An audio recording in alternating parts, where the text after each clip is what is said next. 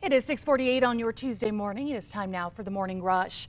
A New Mexico woman involved in a DWI crash that killed two kids has been sentenced to a decade in prison. Danielle Ortiz pleaded no contest to several charges, including homicide by vehicle related to the 2021 crash with Alexis Martinez. Martinez, who was driving, crashed, killing both of the women's kids.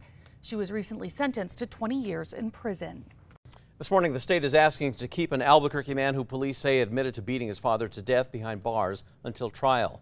Now, police were called out to a northeast Albuquerque home where they found 29-year-old Clayton Garcia. Garcia claims that he tried to leave in his father's car, but he broke the window and tried to pull him out. The elder Garcia died in the hospital on Sunday. More than a year after a shooting that police believe was a case of mistaken identity, the suspect is finally behind bars. According to a criminal complaint, 29 year old Jorge Jimenez Campos hit a man in the head with a gun several times at the Speedway near Central and Coors back in July of 2022. This was before shooting the man's friend.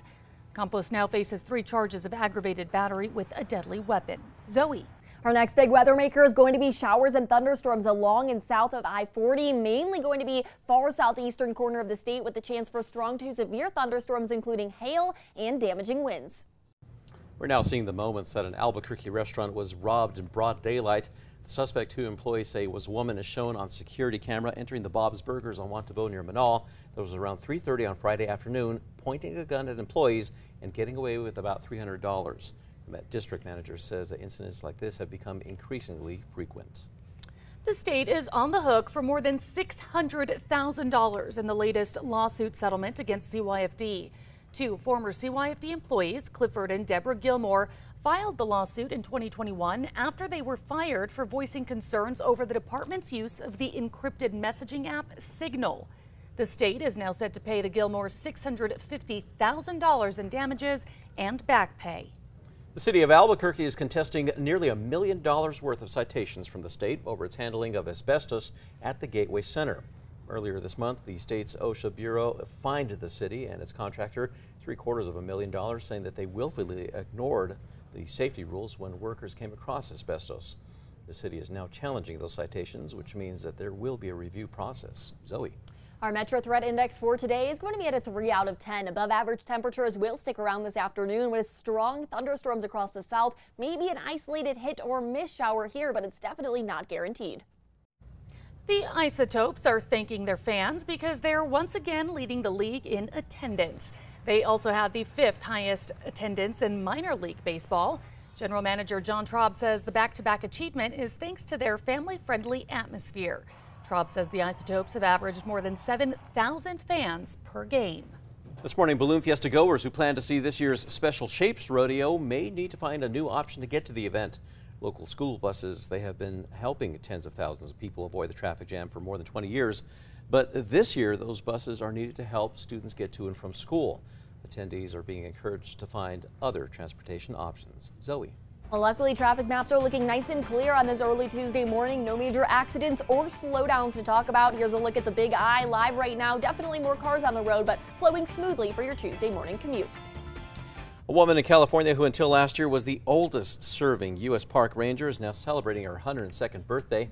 Betty Reid Soskind was already well past retirement age when she became a park ranger almost 17 years ago at the age of 85.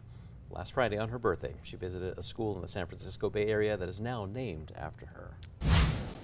And now time for the five facts. At number five this morning, the Albuquerque Isotopes, they finished their season on Sunday, thanking the fans because they are once again leading their league in attendance. Not only did they have the highest attendance in the Pacific Coast League, they also had the fifth highest in minor league baseball. General Manager John Traub says that being fifth out of 120 minor league clubs is pretty big for the Topes. Traub also says that the Topes average more than 7,000 fans per game. At number four, Balloon Fiesta goers who plan to see this year's Special Shapes Rodeo may need to find a new option to get to the event. Local school buses have been helping tens of thousands of people avoid the traffic jam for more than 20 years. But this year, those buses are needed to help students get to and from school.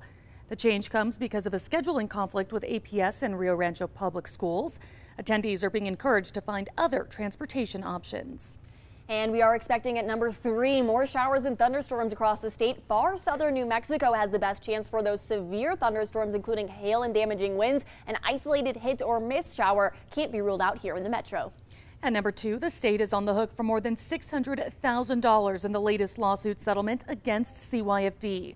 Two former department employees filed that lawsuit in 2021. The couple had been hired in 2020 and were fired a year later after they voiced concerns to the superiors over the department's use of the encrypted messaging app Signal.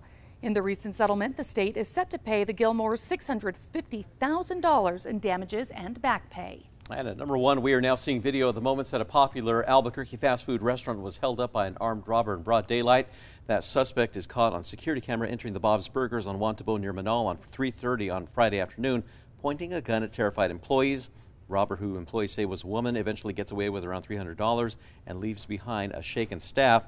The district manager, Bob's Burger, says incidents like this around Albuquerque have become pretty frequent.